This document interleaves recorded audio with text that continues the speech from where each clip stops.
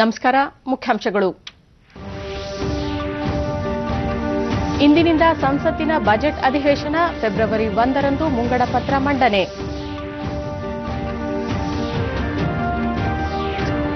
ಸುಗಮ ಕಲಾಪಕ್ಕೆ ಎಲ್ಲ ಪಕ್ಷಗಳ ಸದಸ್ಯರಿಂದ ಸಹಕಾರದ ಭರವಸೆ, Sumitra Mahajan.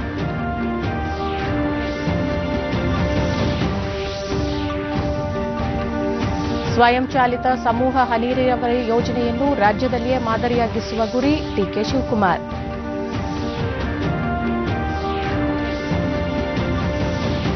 Australia Open tennis Roger ಫೆಡರರ್ಗೆ ಇಪ್ಪತ್ತನೇ ಗ್ರ್ಯಾಂಡ್ ಸ್ಲಾಮ್ ಮುಕುಟ. ವಾರ್ತೆಗಳ ವಿವರ. ಸಂಸತ್ತಿನ ಬಜೆಟ್ ಅಧಿವೇಶನ ಇಂದಿನಿಂದ ಆರಂಭವಾಗಲಿದೆ. ರಾಷ್ಟಪತಿ ರಾಮನಾಥ್ ಕೋವಿಂದ್ ಸಂಸತ್ತಿನ ಜಂಟಿ ಅಧಿವೇಶನ ಉದ್ದೇಶಿಸಿ ಭಾಷಣ ಮಾಡಲಿದ್ದಾರೆ. ಆರ್ಥಿಕ ಸಮೀಕ್ಷೆಯನ್ನು ಸರ್ಕಾರ ಇಂದೇ ಮಂಡಿಸಲಿದ್ದು, ಫೆಬ್ರವರಿ ಒಂದರಂದು ಹಣಕಾಸು ಸಚಿವ ಅರುಣ್ ಜೇಟ್ಲಿ ಮುಂಗಡ ಪತ್ರ ಮಂಡಿಸಲಿದ್ದಾರೆ. ಮೊದಲ ಹಂತದ ಈ ಅಧಿವೇಶನ ಫೆಬ್ರವರಿ ಒಂಬತ್ತರವರೆಗೆ ನಡೆಯಲಿದೆ. ಬಳಿಕ ಎರಡನೇ ಹಂತದ ಅಧಿವೇಶನ ಮಾರ್ಚ್ ಐದರಿಂದ ಏಪ್ರಿಲ್ ಆರರವರೆಗೆ ನಡೆಯಲಿದೆ.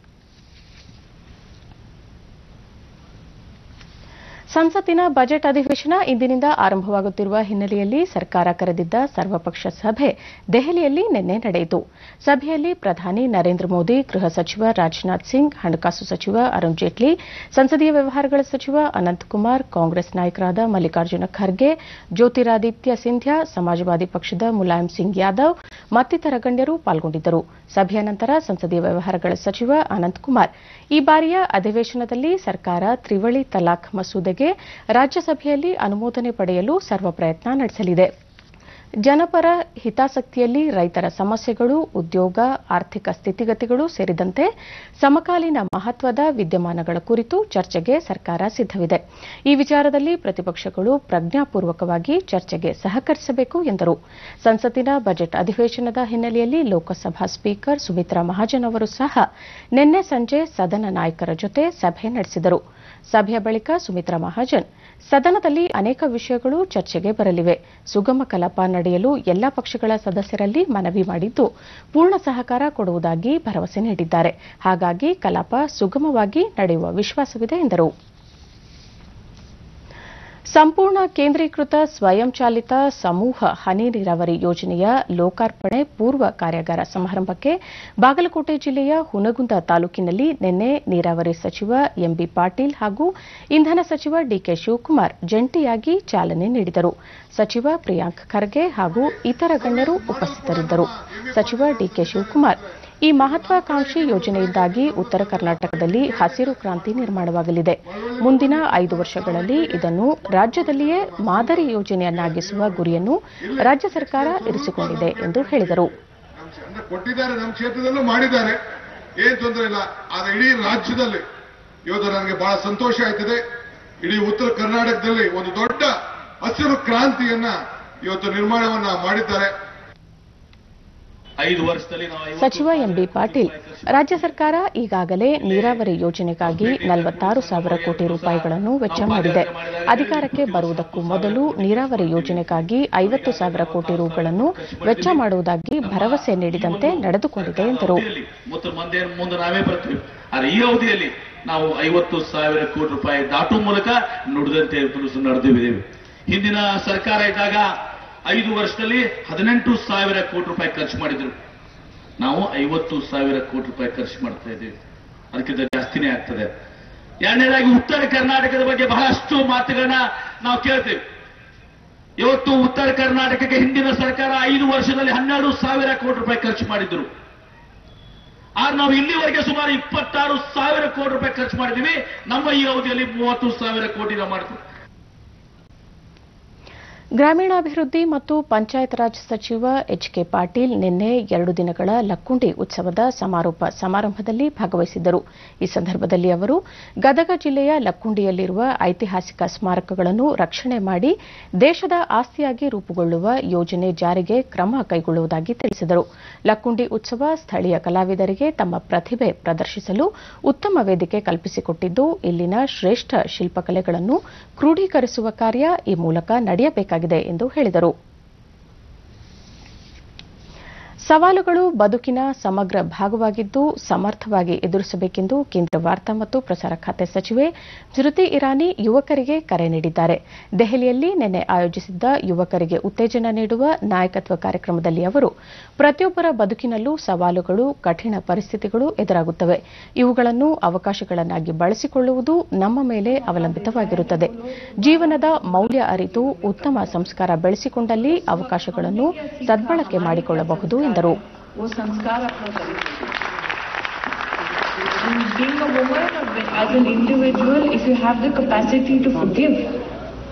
all those who have really, really uh, not done just by you. I think that is the biggest uh, parichaya, that is the biggest testimony to the sanskars and the values you have got. ದೆಹಲಿಯಲ್ಲಿಂದು ಐತಿಹಾಸಿಕ ವಿಜಯ್ ಚೌಕ್ ಬಳಿ beating the retreat ಕಾರ್ಯಕ್ರಮ ನಡೆಯಲಿದೆ ಗಣರಾಜ್ಯೋತ್ಸವ ಆಚರಣೆಯ ನಾಲ್ಕು ದಿನಗಳ ನಂತರ ಸಮಾರೋಪದ ಭಾಗವಾಗಿ ಈ ಕಾರ್ಯಕ್ರಮ ಪ್ರತಿ ವರ್ಷ ನಡೆಯಲಿದೆ ಭಾರತೀಯ ಮೂರು ಸೇನಾ ತುಕಡಿಗಳ ಬ್ಯಾಂಡ್ಗಳು ನೆರೆದ ಸಭಿಕರಿಗೆ ಸಂಗೀತದ ರಸದೌಟನ ಉಡಂಬಡಿಸಲಿದೆ ಸುಮಾರು ಇಪ್ಪತ್ತಾರು ಭಾರತೀಯ ಸಂಗೀತಗಾರರು ಕಾರ್ಯಕ್ರಮದ ಕೇಂದ್ರ ಬಿಂದುವಾಗಲಿದ್ದಾರೆ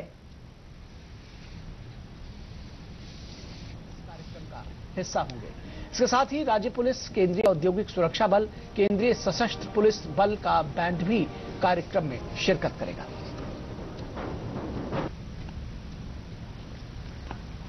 ವಿದೇಶಾಂಗ ವ್ಯವಹಾರಗಳ ಸಚಿವಾಲಯದ ಕಾರ್ಯದರ್ಶಿಯಾಗಿ ಇಂದು ವಿಜಯ್ ಗೋಖಲೆ ಅವರು ಅಧಿಕಾರ ಸ್ವೀಕರಿಸಲಿದ್ದಾರೆ ಸದ್ಯ ವಿದೇಶಾಂಗ ವ್ಯವಹಾರಗಳ ಸಚಿವಾಲಯದಲ್ಲಿ ಆರ್ಥಿಕ ಕಾರ್ಯದರ್ಶಿಯಾಗಿರುವ ವಿಜಯ್ ಗೋಖಲೆ ಅವರು ಎಸ್ ಜೈಶಂಕರ್ ಅವರ ಸ್ಥಾನ ತುಂಬಲಿದ್ದು ಇವರ ಅವಧಿ ಎರಡು ವರ್ಷ ಆಗಿರುತ್ತದೆ ವಿಜಯ್ ಗೋಖಲೆ ಅವರು ಕಳೆದ ವರ್ಷ ಭಾರತ ಡೋಕ್ಲಾಂ ವಿವಾದ ಬಗೆಹರಿಸುವಲ್ಲಿ ನಡೆದ ಮಾತುಕತೆಯಲ್ಲಿ ಪ್ರಮುಖ ಪಾತ್ರ ನಿರ್ವಹಿಸಿದ್ದರು तिहत्तर दिन लंबे गतिरोध को हल करने के लिए बातचीत में अहम भूमिका निभाई थी। वो 20 जनवरी 2016 से 21 अक्टूबर 2017 तक चीन में भारत के राजदूत थे। इसके बाद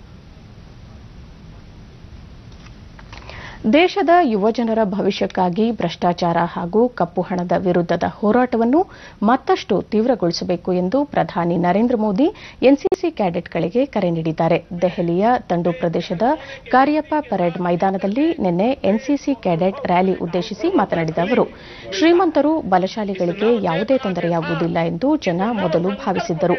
ಆದರೆ ದೇಶದಲ್ಲಿ ಪರಿಸ್ಥಿತಿ ಬದಲಾಗಿದ್ದು, ಭ್ರಷ್ಟಾಚಾರ ನಡೆಸಿದ್ದಕ್ಕಾಗಿ ಮುಖ್ಯಮಂತ್ರಿಗಳೇ ಜೈಲು ಶಿಕ್ಷೆ ಅನುಭವಿಸುವಂತಾಗಿದೆ ಎಂದರು ಭೀಮ್ ಆಪ್ ಮೂಲಕ ಡಿಜಿಟಲ್ ವಹಿವಾಟು ಉತ್ತೇಜಿಸುವಂತೆ ಮನವಿ ಮಾಡಿದ ಅವರು ಜನರಲ್ಲಿ ಡಿಜಿಟಲ್ ಸಾಕ್ಷರತೆ ಮೂಡಿಸಲು ನೆರವಾಗುವಂತೆ ಪ್ರಧಾನಿ ಕೋರಿದರು ಜನರಲ್ಲಿ ಸೇವಾ ಮನೋಭಾವನೆಯನ್ನು ಎನ್ಸಿಸಿ ಉದ್ದೀಪನಗೊಳಿಸುತ್ತಿದೆ ಸಂಘಟನೆಯ ಎಪ್ಪತ್ತೈದನೇ ವರ್ಷಾಚರಣೆ ವೇಳೆಗೆ ಸಂಘಟನೆಯನ್ನು ಮತ್ತಷ್ಟು ಎತ್ತರಕ್ಕೆ ಕೊಂಡೊಯ್ಯಲು ಸೂಕ್ತ ಮಾರ್ಗಸೂಚಿ ರೂಪಿಸುವಂತೆ ಪ್ರಧಾನಿ ಕರೆ ನೀಡಿದರು मुक्ति दिलाने के लिए एक काम एक काम अगर आप ठान लें और नियम बना लें कि साल में कम से कम 100 नए परिवारों को मैं इस काम के लिए जोड़ूँगा। क्या आप तय कर सकते हैं कि अब हम जहाँ भी कुछ खरीद करने जाएँगे, जहाँ भी पैसे की लेन देन होंगी, वो कैश से नहीं करेंगे? हम सब मोबाइल फ़ोन वाले हो गए हैं। क्या भीम ऐप डाउनलोड करके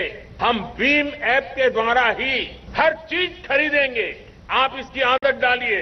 आप देखिए, इतनी ट्रांसपेरेंसी आना शुरू हो जाएगा, इतनी अकाउंटेबिलिटी सरल हो जाएगी कि हम भ्रष्टाचार मुक्त भारत की दिशा में मज़बूत कदम उठा पाएँगे।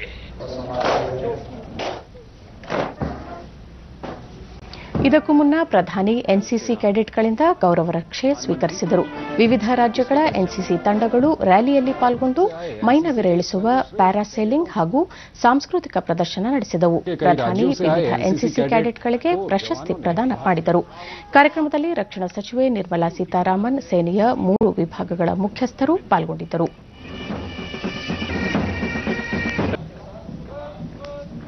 दिया जाता है ताकि आपातकाल में सेना की मदद के लिए वो तैयार रहें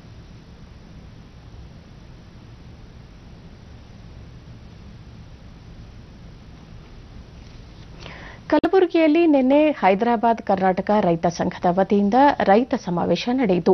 ಶರಣ ಬಸವೇಶ್ವರ ಮೈದಾನದಲ್ಲಿ ಏರ್ಪಡಿಸಿದ್ದ ಸಮಾವೇಶದಲ್ಲಿ ಸಾಮಾಜಿಕ ಕಾರ್ಯಕರ್ತ ಅಣ್ಣಾ ಹಜಾರೆ, ಜ್ಞಾನ ಯೋಗಾಶ್ರಮದ ಸಿದ್ದೇಶ್ವರ ಸ್ವಾಮೀಜಿ ಮತ್ತು ರೈತ ಸಂಘದ ಅಧ್ಯಕ್ಷ ದಯಾನಂದ ಪಾಟೀಲ್ ಉಪಸ್ಥಿತರಿದ್ದರು.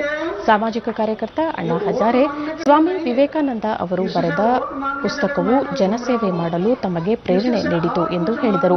ನಾಲ್ಕು ಗೋಡೆಗಳ ಮಧ್ಯೆ ದೇವಸ್ಥಾನದಲ್ಲಿ ಪೂಜೆ ಮಾಡುವುದಷ್ಟೇ ಅಲ್ಲ, ಜನಸೇವೆ ಮಾಡುವುದರಿಂದ ದೇವರ ಸೇವೆ ಮಾಡಿದಂತಾಗುತ್ತದೆ ಎಂದರು. ಹದಿನೆಂಟು ರಾಜ್ಯಗಳಲ್ಲಿ ಪ್ರವಾಸ ಮಾಡುತ್ತಿರುವ ತಮಗೆ ಎಂಬತ್ತರ ಈ ವಯಸ್ಸಿನಲ್ಲಿಯೂ ಇಷ್ಟು ಆರೋಗ್ಯವಾಗಿದ್ದೇನೆ ಎಂದರೆ ಅದಕ್ಕೆ ಜನಸೇವೆಯೇ ಕಾರಣ ಎಂದು ಹೇಳಿದರು. उठते हैं, और थोड़ा और थोड़ा और थोड़ा और थोड़ा और थोड़ा। स्मशान भूमि में जाने तो कोई रुकता नहीं। दौड़ रहा दौड़ रहा। जन्म में आता, कुछ लेकर आता, कुछ नहीं। जाता, कुछ लेकर जाता, कुछ नहीं। आता खाली हाथ से, जाता भी खाली हाथ से, लेकिन उम्र भर दौड़ता है। मेरा मेरा मेरा मेरा मेरा मेरा। और कई लोग, मेरा मेरा कहकर भी रुकता नहीं। मेरा वो मेरा, लेकिन तेरा वो भी मेरा। ऐसे प्रवृत्ति बढ़ रही है। ಜಿಲ್ಲಾ ಕೃಷಿಕ ಸಂಘದ ನೇತೃತ್ವದಲ್ಲಿ ರೈತರಿಗೆ ಕೃಷಿ ಮಾಹಿತಿ ಶಿಬಿರ ಹಾಗೂ ಕೃಷಿ ಪರಿಕರಗಳ ವಸ್ತು ಪ್ರದರ್ಶನ ಕಾರ್ಯಕ್ರಮ ಉಡುಪಿಯಲ್ಲಿ ನಿನ್ನೆ ನಡೆಯಿತು. ರೈತರು ಹಾಗೂ ವಿದ್ಯಾರ್ಥಿಗಳಿಗೆ ಸಸಿಗಳನ್ನು ವಿತರಣೆ ಮಾಡಲಾಯಿತು. ಕೃಷಿ ಉತ್ಪನ್ನಗಳು ಮತ್ತು ಪರಿಕರಗಳ ವಸ್ತು ಪ್ರದರ್ಶನವನ್ನು ಗಣ್ಯರು ವೀಕ್ಷಿಸಿದರು. ಹಲವು ರೈತರು, ಮಹಿಳೆಯರು ವಸ್ತು ಪ್ರದರ್ಶನದಲ್ಲಿ ಭಾಗವಹಿಸಿ ಆಧುನಿಕ ಯಂತ್ರೋಪಕರಣಗಳು ಹಾಗೂ ಕೃಷಿ ಉತ್ಪನ್ನಗಳ ಕುರಿತು ಮಾಹಿತಿ ಪಡೆದರು. ಜಿಲ್ಲೆಯ ಪ್ರಗತಿಪರ ಕೃಷಿಕರನ್ನು ಸನ್ಮಾನಿಸಲಾಯಿತು. ಕರ್ನಾಟಕ ಕೃಷಿ ಬೆಲೆ ಆಯೋಗದ ಅಧ್ಯಕ್ಷ ಡಾ ಪ್ರಕಾಶ್ ಕಮ್ಮರಡಿ ಕೃಷಿ ಆಯೋಗ ರೈತರ ಕೃಷಿ ಉತ್ಪನ್ನಗಳಿಗೆ ಸ್ಥಿರ ಮಾರುಕಟ್ಟೆ ಒದಗಿಸುವ ನಿಟ್ಟಿನಲ್ಲಿ ಸಮಗ್ರ ವರದಿಯನ್ನು ಸರ್ಕಾರಕ್ಕೆ ಸಲ್ಲಿಸಿದೆ. ಅದರಂತೆ ಕಳೆದ ನಾಲ್ಕು ವರ್ಷಗಳಲ್ಲಿ ಸುಮಾರು ಇನ್ನೂರ ಐದು ಲಕ್ಷ ಕ್ವಿಂಟಲ್ ಕೃಷಿ ಉತ್ಪನ್ನಗಳನ್ನು ಸರ್ಕಾರ ಬೆಂಬಲ ಬೆಲೆಯಲ್ಲಿ ಖರೀದಿಸಿದೆ. ರಾಗಿಗೆ ದೇಶದಲ್ಲಿ ಉತ್ತಮ ಬೆಂಬಲ ಬೆಲೆ ರಾಜ್ಯದಲ್ಲಿ ಲಭ್ಯವಾಗಿದೆ ಎಂದರು. ಅದರಲ್ಲೂ ರಾಗಿಗೆ ದೇಶದಲ್ಲೇ ಯಾವ ಆಹಾರಕ್ಕೂ ಸಿಗದಂತ ಒಂದು ಅತ್ಯುತ್ತಮ ಬೆಲೆ ಈ ಸಾಲಿನಲ್ಲಿ ಎರಡು ಸಾವಿರದ ಮುನ್ನೂರು ರೂಪಾಯಿ ಘೋಷಣೆ ಮಾಡಿದೆ. ರಾಜ್ಯದ ರೈತರ ಉತ್ಪನ್ನಗಳಿಗೆ ಧಾರಣ ಸ್ಥಿರೀಕರಣ ದೃಷ್ಟಿಯಿಂದ ಖರೀದಿ ಉತ್ತಮ ಬೆಲೆ ಕೊಡೋಕ್ಕೆ ನಮ್ಮ ಒಂದು ವರದಿ ಸಹಾಯವಾಗಿದೆ. ಈ ರೀತಿ ಕಳೆದ ನಾಲ್ಕು ವರ್ಷಗಳಿಂದ ಕೃಷಿ ಬೆಲೆ ಆಯೋಗದ ವರದಿ ಉಪಯುಕ್ತವಾಗಿದೆ. ಕೃಷಿಗೆ ಮತ್ತಷ್ಟು ಒತ್ತು ಕೊಡೋಣ. ಕೃಷಿಕ ಮಹಿಳೆ ಭಾರತಿ ಶೆಟ್ಟಿ ಮಕ್ಕಳಿಗೆ ಕೃಷಿ ಕುರಿತು ಅರಿವು ಮೂಡಿಸುವುದು ಅಗತ್ಯ. ಹಾಗಾದಾಗ ಮಾತ್ರ ಮುಂದಿನ ಪೀಳಿಗೆಗೆ ಕೃಷಿ ಮುಂದುವರಿಯುತ್ತದೆ ಎಂದರು. ನಾವು ಬೇಕಾದನ್ನು ಪಡ್ಕೊಳ್ಳಬಹುದು. ನಮ್ಮ ಮಕ್ಕಳಿಗೆ ನಾವು ಕೃಷಿಯ ಬಗ್ಗೆ ಅರಿವು ಮೂಡಿಸಬೇಕು. ನಾವು ಕೃಷಿಯನ್ನು ನಶಿಸಬಾರದು. ಯಾವತ್ತೂ ನಶಿಸಬಾರದು ನಾವು. ನಮಗೆ ಕೃಷಿ ಇಲಾಖೆಯಿಂದ ಕೃಷಿಕ ಆಂಡ್ರೋ ಲೋಬೋ ಸರ್ಕಾರದಿಂದ ಕೃಷಿಗೆ ದೊರೆಯುವ ಸವಲತ್ತುಗಳು ಮತ್ತು ಹೊಸ ತಾಂತ್ರಿಕತೆಯ ಅರಿವು ಮೂಡಿಸಲು ಸಮಾವೇಶ ಯಶಸ್ವಿಯಾಗಿದೆ ಎಂದರು. ಎಂತಹ ಹೊಸ ಹೊಸ ತಾಂತ್ರಿಕತೆ ಈಗ ಬಂದಿದೆ. ಹಾಗೂ ಹಿಂದಿನ ಮ- ಹಿಂದೆ ಅಳವಡಿಸಿದ ತಾಂತ್ರಿಕತೆಯಲ್ಲಿ ಏನು ತಪ್ಪುಗಳಿತ್ತು ಅದನ್ನು ಸುಧಾರಿಸಿಕೊಳ್ಳುವುದು ಹೇಗೆ? ಇದನ್ನೆಲ್ಲ ಈ ಒಂದೇ ಸೂರಿನ ಅಡಿಯಲ್ಲಿ ಎಲ್ಲ ರೈತರಿಗೆ ಒಟ್ಟುಗೂಡಿಸಿ ಅವರಿಗೆ ತಿಳಿಯಪಡಿಸಲಾಗ್ತದೆ. ಇದು ಒಂದು ಬಹಳ ಬಹಳ ಅತ್ಯಂತ ಉತ್ತಮವಾದ ಒಂದು ಪ್ರಯತ್ನ. ಹೊಸ ವರ್ಷದ ಮೊದಲ grand slam tourney Australian Open ಪಂದ್ಯಾವಳಿಯ ಪುರುಷರ ಸಿಂಗಲ್ಸ್ ವಿಭಾಗದಲ್ಲಿ ಸ್ವಿಟ್ಜರ್ಲೆಂಡ್ನ ರೋಜರ್ ಫೆಡರರ್ ಪ್ರಶಸ್ತಿ ಗೆದ್ದುಕೊಂಡಿದ್ದಾರೆ. ಮೆಲ್ಬರ್ನ್ನ ರಾಡ್ಲೇವರ್ ಅರೆನಾದಲ್ಲಿ ನಡೆದ ಫೈನಲ್ ಪಂದ್ಯದಲ್ಲಿ ರೋಜರ್ ಫೆಡರರ್ ಅವರು ಕ್ರೊವೇಷಿಯಾದ ಮಾರಿನ್ ಸಿಲಿಚ್ ಅವರನ್ನು ಆರು ಎರಡು, ಆರು ಏಳು, ಆರು ಮೂರು ಮೂರು ಆರು ಮತ್ತು ಆರು ಒಂದು ಸೆಟ್ಗಳಿಂದ ಮಡಿಸಿ ಈ ಸಾಧನೆ ಮಾಡಿದರು. ಮೂರು ಗಂಟೆಗಳ ಸುದೀರ್ಘ ಹೋರಾಟದಲ್ಲಿ ಹಾಲಿ ಚಾಂಪಿಯನ್ ಫೆಡರರ್ ಐದು ಸೆಟ್ಗಳಲ್ಲಿ ಉತ್ತಮ ಪ್ರದರ್ಶನ ನೀಡಿ ವೃತ್ತಿ ಬದುಕಿನ ಆರನೇ ಆಸ್ಟ್ರೇಲಿಯನ್ ಓಪನ್ ಹಾಗೂ ಒಟ್ಟಾರೆ ಇಪ್ಪತ್ತನೇ ಗ್ರ್ಯಾಂಡ್ ಸ್ಲಾಮ್ ಪ್ರಶಸ್ತಿ ಜಯಿಸಿದ ಸಾಧನೆ ಮಾಡಿದರು.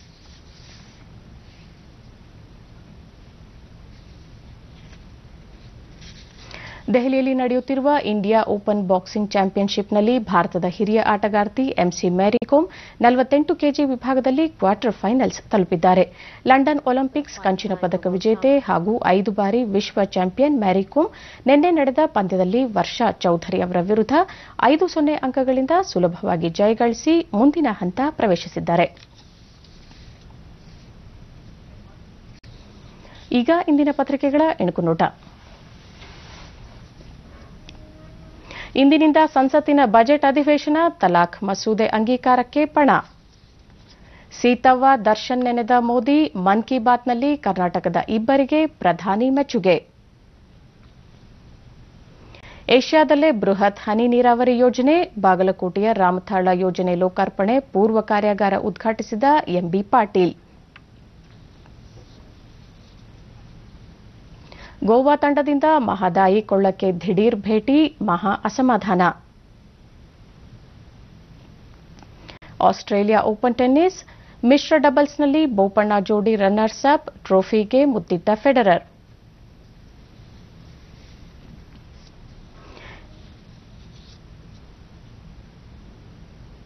ಇವು ಇಂದಿನ ಪತ್ರಿಕೆಗಳ ಪ್ರಮುಖ ಸುದ್ದಿ. ಉಳಿದಂತೆ ರೈಲ್ವೆಗೆ ಮೂವತ್ತೈದು ಲಕ್ಷ ಕೋಟಿ ರೂಪಾಯಿ ಬಂಡವಾಳ ಹೂಡಿಕೆ ಗುರಿ, ನಾಲ್ಕು ಸಾವಿರ ಕಿಲೋಮೀಟರ್ ಮಾರ್ಗ ವಿದ್ಯುದೀಕರಣ ಐಎಸ್ಐ ಮುದ್ರೆಯ ಹೆಲ್ಮೆಟ್ ತಪಾಸಣೆ ಇಲ್ಲ.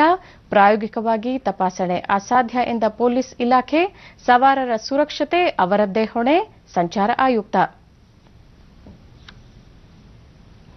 ಟ್ಯಾಂಕರ್ ನಿರೋಧಕ ಕ್ಷಿಪಣಿ ಕೊರತೆ, ಅರವತ್ತೆಂಟು ಸಾವಿರ ಕ್ಷಿಪಣಿ, ಎಂಟುನೂರ ಐವತ್ತು ಕ್ಷಿಪಣಿ ಲಾಂಚರ್ ಅವಶ್ಯ, ಸೇನೆ ಮನವಿ.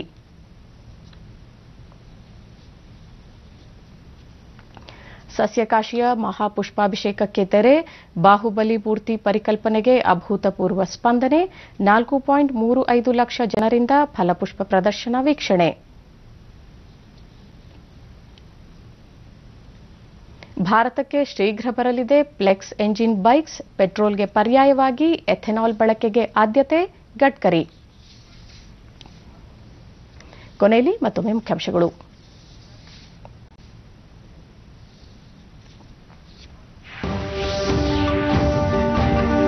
ಇಂದಿನಿಂದ ಸಂಸತ್ತಿನ ಬಜೆಟ್ ಅಧಿವೇಶನ ಫೆಬ್ರವರಿ ಒಂದರಂದು ಮುಂಗಡ ಪತ್ರ ಮಂಡನೆ.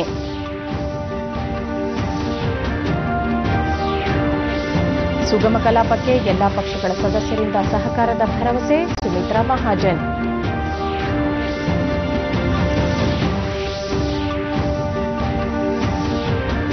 ಸ್ವಯಂ ಚಾಲಿತ ಸಮೂಹ ಹನಿ ನೀರಾವರಿ ಯೋಜನೆಯನ್ನು ರಾಜ್ಯದಲ್ಲಿಯೇ ಮಾದರಿಯಾಗಿಸುವ ಗುರಿ DK Shivakumar.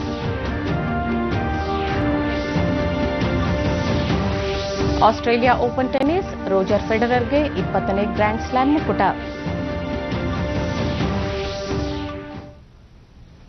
ನಮ್ಮ ಮುಂದಿನ ವಾರ್ತಾ ಪ್ರಸಾರ ಮಧ್ಯಾಹ್ನ ಒಂದು ಗಂಟೆಗೆ ಚಂದನದಲ್ಲಿ, ಈಗ ಶುಭೋದಯ ಕರ್ನಾಟಕ ಮುಂದುವರೆಯಲಿದೆ. ನಮಸ್ಕಾರ.